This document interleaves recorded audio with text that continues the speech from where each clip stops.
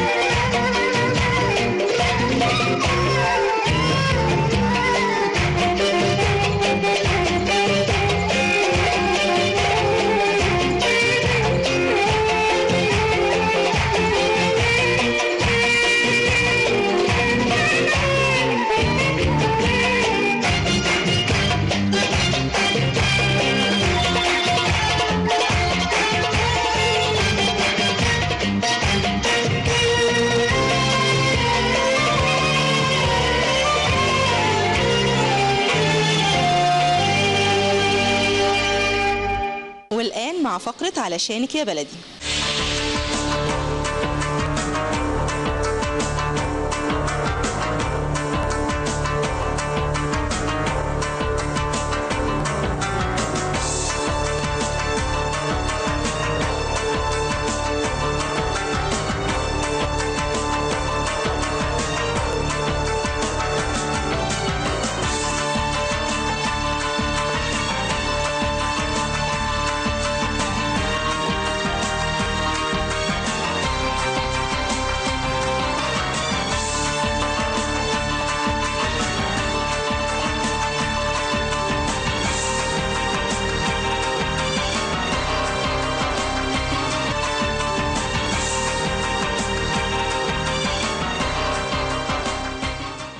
مشاهدينا ومعانا أستاذ أحمد حسين نقيب العاملين بوزارة العمل بمحافظة الأقصر وقنا نقيب العاملين بمحافظة الأقصر وقنا أهلا بيك أستاذ أحمد. أهلا وسهلا بحضرتك أهلا وسهلا. آه، أستاذ أحمد يمكن آه، يعني وزارة العمل آه، من الوزارات المهمة جدا والكل أول ما بيتخرج بيبص عليها على طول. وفي ناس كتير طبعا آه لأن هي بتساعد في إيجاد وظائف لل للخريجين. عايزين نعرف الدور الأساسي آه، للوزارة مؤخرا في الأقصر وأسوان.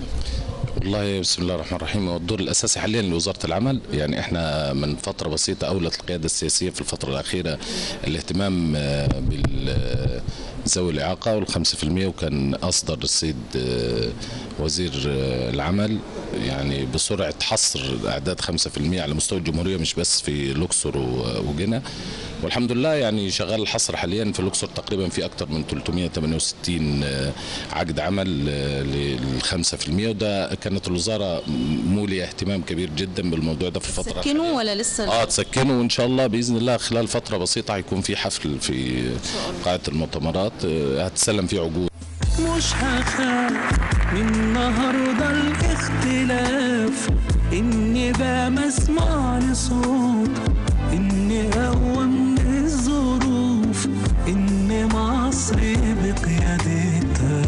السند من كل مش هخاف من النهارده الاختلاف. إني بقى مسمع لصوت إني اقوى من الظروف ان مصر بقيادتها السند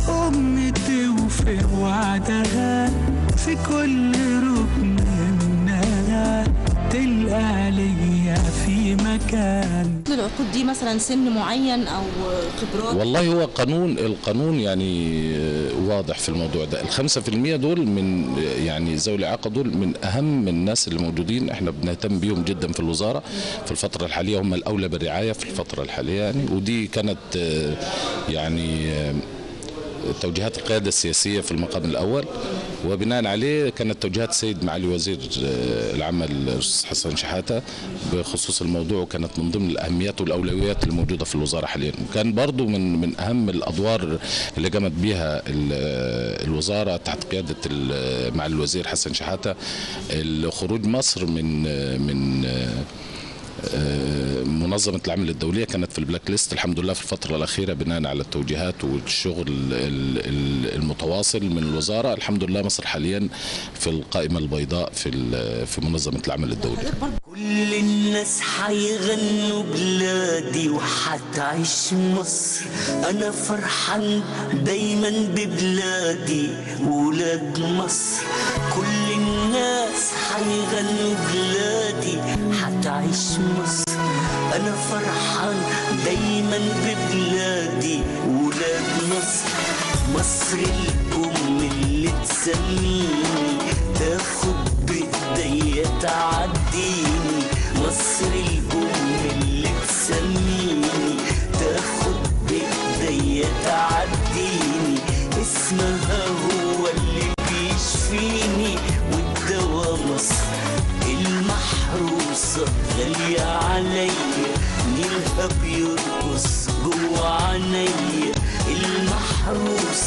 غالية عليا نيلها بيرقص جوا عينيا طيبة ناسها والحنية. اسمها مصر. يعني ال- ال- ال- العقود ال 5% ليها شرط في السن مثلا؟ لا هي لازم يكون عنده مالها شروط في السن.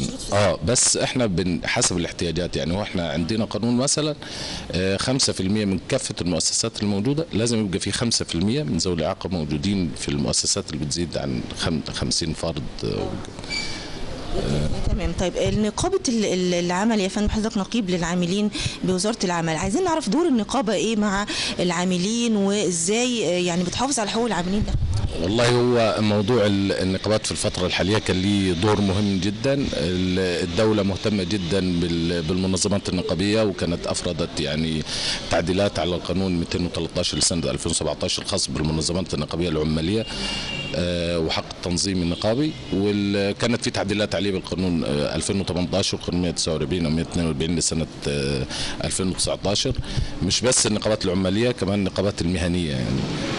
إحنا مهمة النقابات هي الحفاظ على حقوق العاملين وحماية مصالحهم الشخصية. وانت ماشي في مصر سلم علي رباه وعلي علم واللي كبر واللي عقل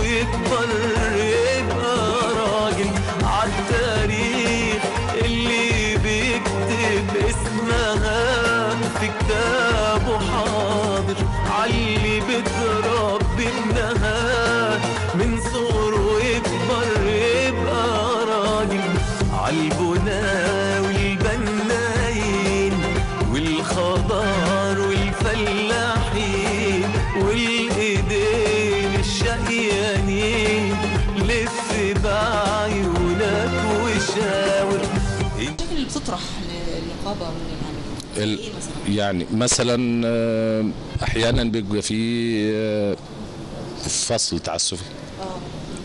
ده من ضمن الحاجات اللي ممكن يعني إحنا بنتحرك بناء عليه وتحرك النقابة مش دايما بيبقى ضد ال مثلا المؤسسة أو ضد المدير المؤسس. بس للأسف الشديد أحيانا مش بس في النقابات العمالية حتى في النقابات المهنية.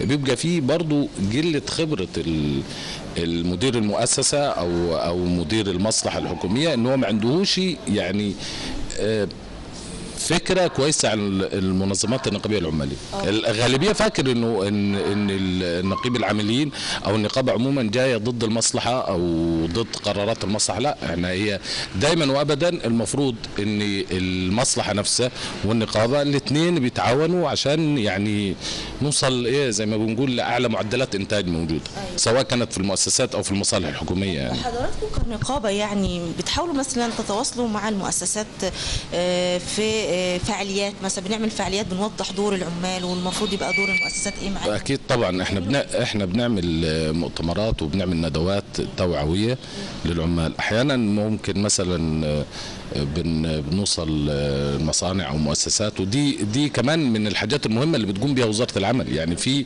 في جوه وزارة العمل إدارات مختصة بتتعامل مباشر مع العاملين ومع يعني آه، لو في مثلا في شركة أو في حاجة مثلا أو في مؤسسة بيبقى مثلا موجوده اعتصامات أو حاجة. إحنا اللي بنطلع بنتعامل مع العاملين وبنعرفهم دورهم كويس وبنعرف دور الإدارة. لو في تقصير من الإدارة برضو بنحاول نوصل في المفاوضه الجماعية إن إحنا يعني نوصل للحل الأمثل اللي ما يعطلش مصلحة العمل ولا يعني يعطل العاملين نفسهم أو مصالح العاملين.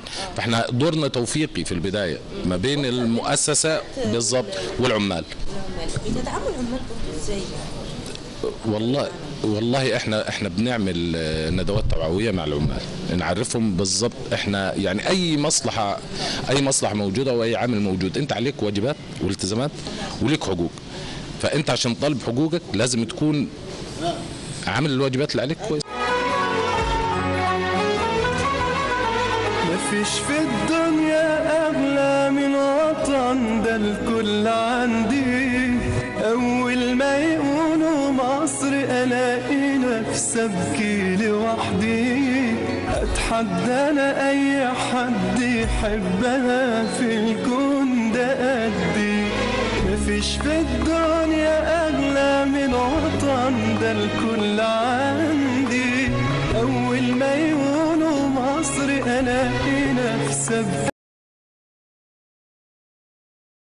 أي حد يحبها في الكون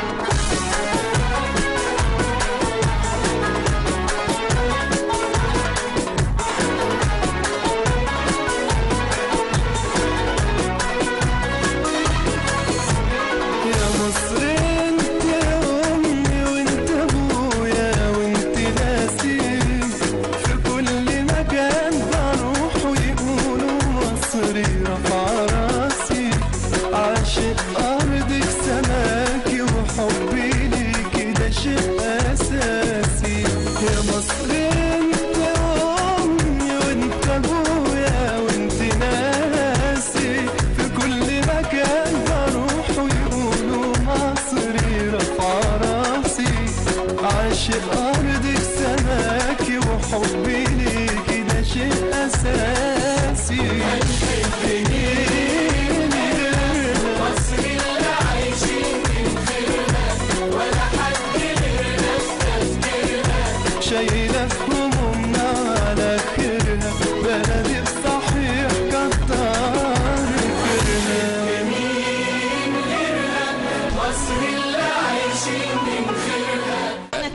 لازم أعمل اللي عليا برضه عشان أطالب بحق فإحنا بن يعني بنفهمهم الأول الواجبات اللي عليك واحد اثنين ثلاثة مثلا بناء على القوانين واللوائح اللي موجودة أو القرارات المنظمة وبناء عليه انت اديت اللي عليك بالكامل. يعني دور النقابات العمالية مش بس اني أنا احافظ له على حقه في حالة الشكوى لا لو أنا شايف ان في ظلم واقع عليه أصلا بالظبط. أنا بتحرك حتى لو هو ما اشتكاش.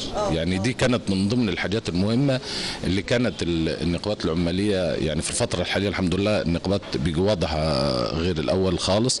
اهتمام القيادة السياسية بالموضوع آه، تماما. مهم. أكيد طبعا أكيد بيجي ليها دور مهم جدا. وبعدين يعني إقرار الحقوق والحريات النقابية كانت من أهم المبادئ اللي هي يعني حركت مصر من البلاك ليست. عن مبدأ إقرار الحقوق والحريات النقابية. إقرار الحقوق والحريات النقابية من أهم المبادئ اللي كان آه، في تعليق من منظمه العمل الدوليه فيها بخصوص إن مصر كانت في البلاك ليست من آه، منظمة العمل الدولي. بس الحمد لله يعني بجهود المضنية للقيادات وخصوصا بوزارة العمل إن إحنا نحاول بقدر الإمكان إن إحنا نتواصل إلى الحل الأمثل للخروج من القائمة. والحمد لله تم الموضوع في في وجود معالي الوزير السيد حسن شحاته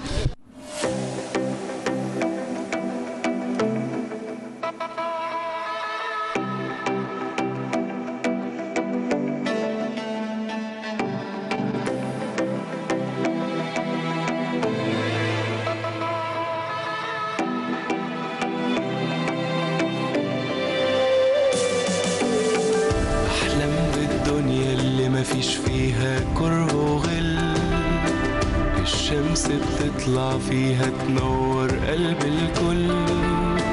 الحب يكون هو لغتها والناس تستمتع بحياتها. والخير يزيد ويفيض ويغطي حدود الأرض. I dream a world where no one hates to hold grudge. Allora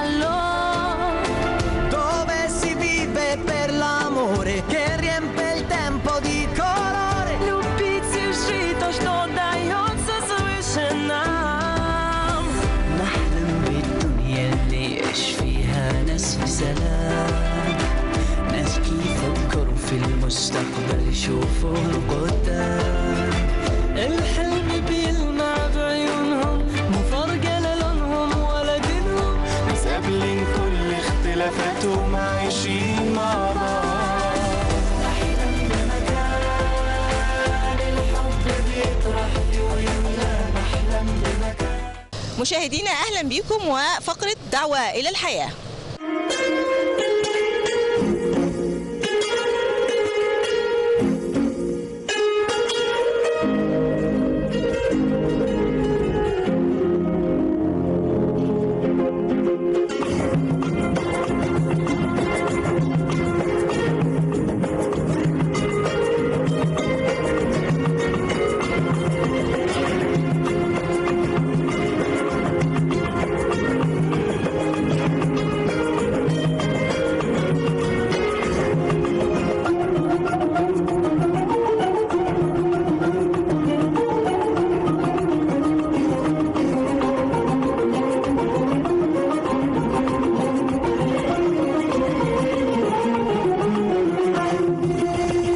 مشاهدينا أهلا بيكم. آه، معانا أروى برحب بيكي أروى. أهلا وسهلا.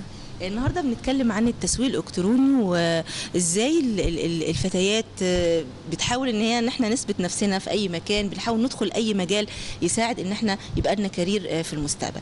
أروى قولي لي الأول انت دارسة إيه؟ أنا حاصلة على بكالوريوس علوم زراعية جامعة جنوب الوادي آه، 2019 بعد كده أخدت سنة فترة شغل كيميائية في معمل. قدرت أحوش من آه، أدخل جمعية من خلال المرتب آه، عشان أقدم دبلوم دراسات عليا. الحمد لله آه، آه، الدبلوم جامعة أسوان. آه، قدرت من خلال بعد كده أقدم على كارنيه مزاولة مهنة. آه، وأسجل في سجل الكيميائيين عشان أبقى واقعية أكتر للدكاترة والمعامل ان أنا أقدر أقدم بكل ثقة.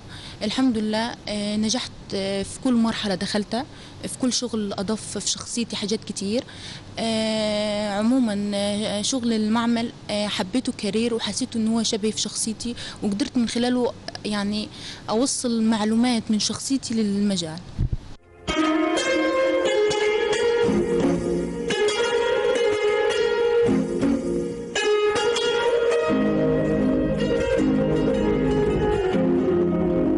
أنا ملاحظة كلمة قدرت في كل. في كل الكلام وفعلا إحنا قدرنا. يعني ال... ال... ال... الست المصرية والبنت المصرية قدرت إن هي تدخل مجالات كتير قدرت إن هي تساعد نفسها. أنت عملتي جمعية عشان تساعدي نفسك. ويعتبر أنت نموذج لكل الشباب الشباب الشابات. آه، اللي اللي يعني المفروض يبقى مثال إن إحنا نقدر نساعد نفسنا. مش لازم دايما نبقى في بابا وماما في البيت يساعدنا. لا إحنا خلاص طالما خرجنا نشتغل يبقى نساعد نفسنا ونقدر نعمل آه، انت التحقتي بالدورة في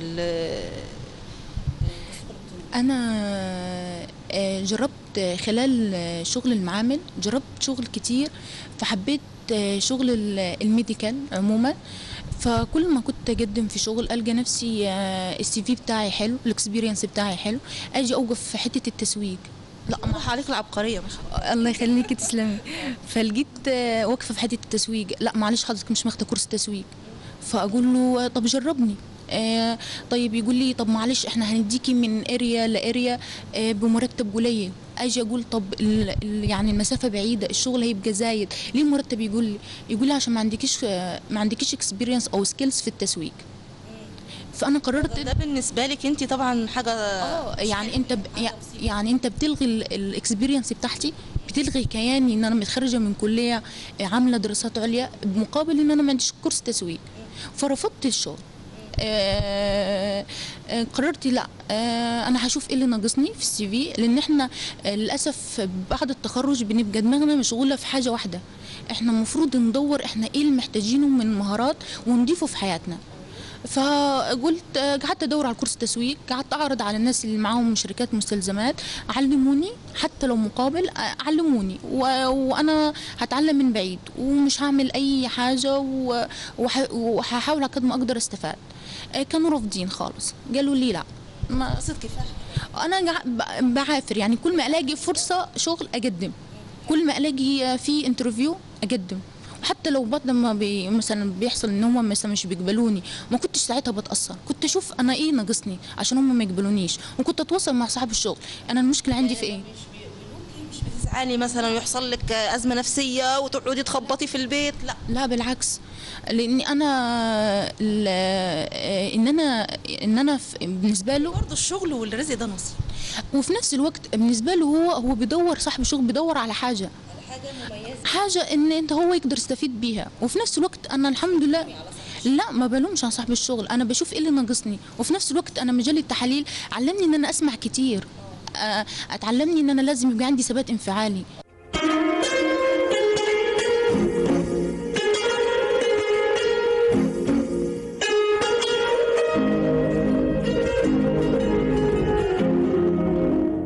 اروى أنا بتكلم معاك أنا حاسة إن أنا بتكلم مع حد كبير بجد والله يعني مع حد آه، سن كبير يعني سن كبير فعلا. آه، إحنا بنفتقد هذا التوازن عند شبابنا. الله يخليك للأسف يعني. فإحنا عايزين شبابنا يبقى متوازن في الشكل. إحنا يعني آه، بنتمنى ان أي حد ي- يقابله آه، طريق آه، فشل من خلالها مش مش النهاية. آه، لا انت شوف اللي ناقصك واعمله. أنا قعدت آه، قعدت مركزة. أنا يعني بجانب شغلي ككيميائية في إحدى المستشفيات كنت بحاول على قد ما أقدر إن أنا أقدر أفصل أشوف إيه اللي ناقصني في نفس الوقت آه، يعني لما أجي أشتغل تحليل أبقى ناجحة فيه. لأن أنا انت ما تعمليش حاجة على حساب حاجة لا. كنت كنت أفصل حياتي طول ما دخلت مجال التحليل ودخلت دخلت أوضة الكيمياء كنت أفصل أي حاجة عن حياتي. برافو عليكي. أروى قولي لي استفدتي إيه بقى من الدورة؟ أنا الدورة قدمت فيها أول ما عرفت كورس تسويق عن طريق ال social media ومجانا ومنحة وعرفت إن في test مراحل قعدت اللي هو بيذاكر إن هو كنت أتمنى إن أنا اتقبل لأن هي منحة وغير إن هي تبع مديرية العمل وبرضو منظمة برنامج الأغذية العالمي وشركة راك. فكنت أتمنى آه، إن أنا اتقبل والحمد لله آه، دخلنا على لجنة التحكيم. آه، قالوا لي أنت عايزة إيه وحابة إيه تعملي بعد التدريب. قلت لهم أنا ماخدة قرض من إحدى الجمعيات عشان خاطر أبدأ في مشروع مستلزمات طبية. بالنسبة ك experience في المجال ده أنا هقدر أعملها. بس بجزء التسويق أنا واقعة في الحتة دي. فأنا عايزة التسويق. ف الحاجة الحلوة إن إحنا ندور على ال ال يعني النواقص في حياتنا وفي شخصيتنا ونحاول نكملها. آه يعني آه، لقيت نفسي آه، لأ أنا في مجال التحاليل خلاص اكتفيت. اكتفيت طب جزء التسويق؟ لا أنا خليني أعمل تسويق. في نفس الوقت قلت أنا اشغل أخوي الأصغر مني في مجال يبقى حلو خفيف تحت عيني. آه في نفس الوقت ال- المراحل اللي أنا اشتغلت فيها بيجي معايا data لدكاترة ومعامل آه باسمنا آه فبيجي سهل إن إحنا معانا الدكتور أو معانا المعمل أو ال- الناحية التانية كانوا واثقين فينا واسمنا معروف فعشان كده حبيت إن أنا أضيف التسويق. فكل اللي أنا عملته إن أنا اتمرمطت شويتين في سوق العمل جمعت داتا من دكاترة اثبت نفسي في وجودهم آه بيجي معايا حتة التسويق.